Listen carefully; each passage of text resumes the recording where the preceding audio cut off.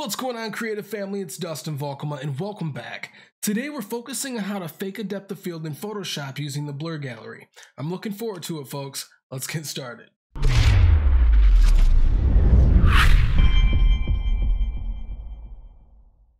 Alright guys, here we are in Photoshop taking a look at an image that might be a little bit more complex, but what I like about this is that in its early on stages here in the composite, there were a couple different elements that I needed to fake this depth of field on. So that had to do with the background, the cape, and then Superman himself.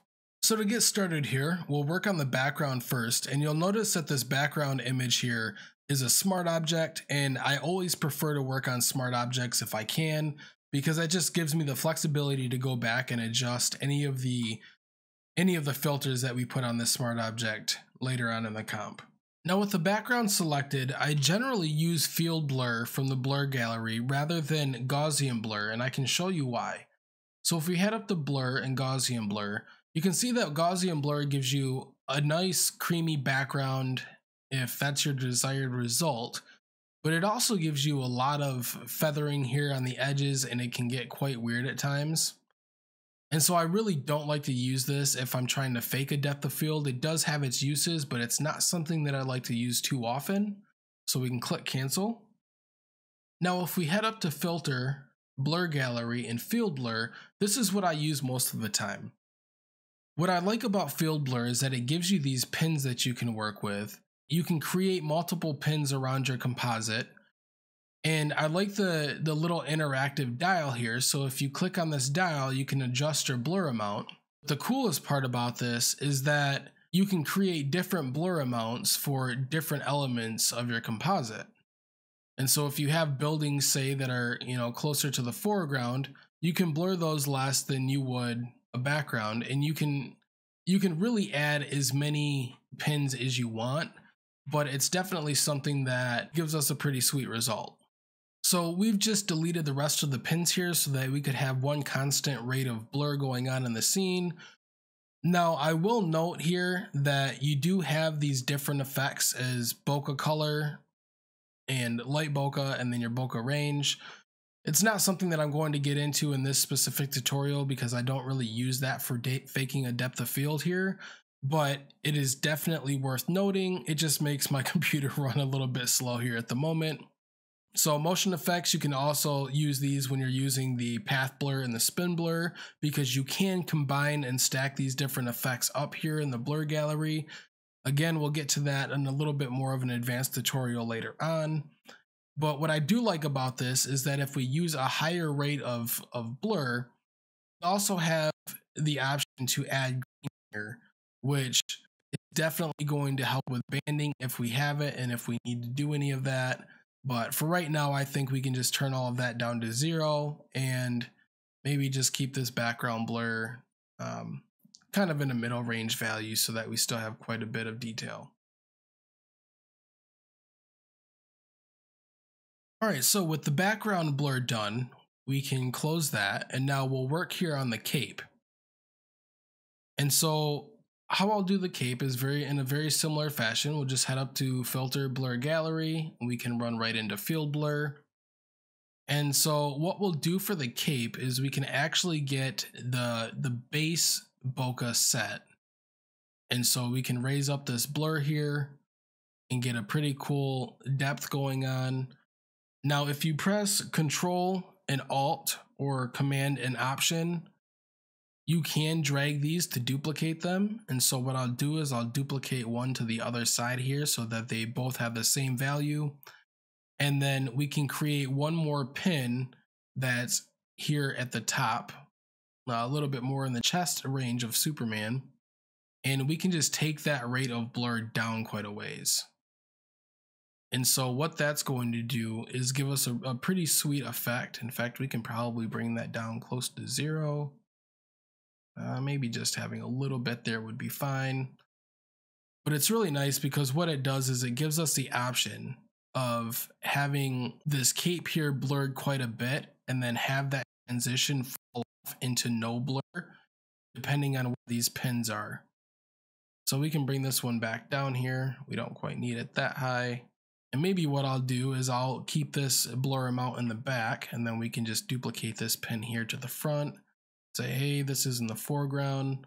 And so we'll decrease that quite a bit because it is still behind his hand there, but we don't need it to be quite as heavy as what this other is here. So with that done, we go ahead and click OK, let it process.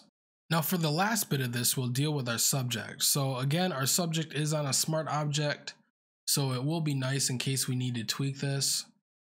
A lot of times I really like to work this way because there's times where I get further into my comp and say, hey, I don't want my depth of field to be that crazy. And so I turn it down quite a ways. But what we'll do here is we can create um, just start to work the depth of field around our subject. And so we'll say that here in his chest, the depth of field is at zero. So we can bring the blur down to zero. And then on this foreground hand here, he's gonna have some, some depth of field happening there. So we'll click on his face. We can make that zero as well. We can say here in his pelvic range, we can just copy this down. So that'll be zero. But maybe on this front knee here, I want this to have a little bit of a depth to it. Doesn't need to be quite as bad as the rest, but we can leave some there.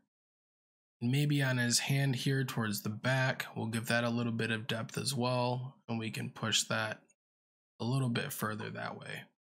And so I think at this point, it ends up working quite well. We can go ahead and push some of these a little bit here just for the sake of the tutorial so that we can see what we're doing. Oops, created a wrong one there. And push this foreground hand just a little bit. That one in the back was a little bit too harsh. And now, if you really want to start pushing some of the thresholds here that are happening, this is really kind of proximity based between where these pins are in relation to one another to what kind of fall off um, the depth of field effect has. And so you can see here that this fallout transition is happening between this pin here on his pec and the one that's there on his hand. But now if I delete this pin that's on his pectoral, then you can see that fall off transition goes a little bit smoother between the one in the center of his chest and the one in his hand. And so in most cases, this is exactly how I'll handle the depth of field. And at times what I may do is put a pin right on the outside if I want to blur some of these edges that are happening here. And I will just make that transition quite a bit smaller just by placing these pins in different locations so that we have a very slight blur there right in the edges. And that generally works quite well. Computer's freaking out at the moment. so hopefully my audio is not too bad. That's crazy. Probably gonna blue screen in a minute. We'll see if we can kill it. All right, so I'll do the same thing up here on the head so I can create another pin. Let's just see if we can kill the computer here once. I won't be mad this time, promise. So we can drop that blur, copy that over to the other side a little bit, and kind of keep that same blur amount there on that back shoulder. And then with this pin that has a blur radius of zero, we can bring this here down into his neck area and then maybe one right over to his shoulder there. And so that gives us a really nice bit of depth there, but we won't get into too much detail. I tend to talk a lot while I'm doing this kind of stuff. So at this point, we can go ahead and click OK and let this process, and I'll catch you guys when it's finished. Alright, so now that that's done processing, I've created two groups here. One that has our depth of field faking applied, and the other that doesn't. And you can immediately see the difference in the focus that it helps pull to our subject here. And it really just helps a little bit more of the intimate nature of some of these powerful shots. Now, what I would do in most cases, this tutorial is really quite a bit faster just to show you guys the basics of how I would do this quickly because the actual process when I'm doing it doesn't take too long. However, I would go in and pay a little bit more attention to having a couple more pins here throughout my subject just to push that depth of field a little bit further. And then I would also make sure that I had some of these edges here blurred before I went into compositing effects and different things of that nature. but it's just a base tutorial. I think this gives you guys a really good uh, food for thought and somewhere to start off in your own creative process. So I hope that it helps. All right, guys, so that wraps up this tutorial on faking a depth of field in Photoshop. Hopefully you guys learned something that you can implement into your workflow. As always, create more, say less, and stay creative. I'll see you guys next time.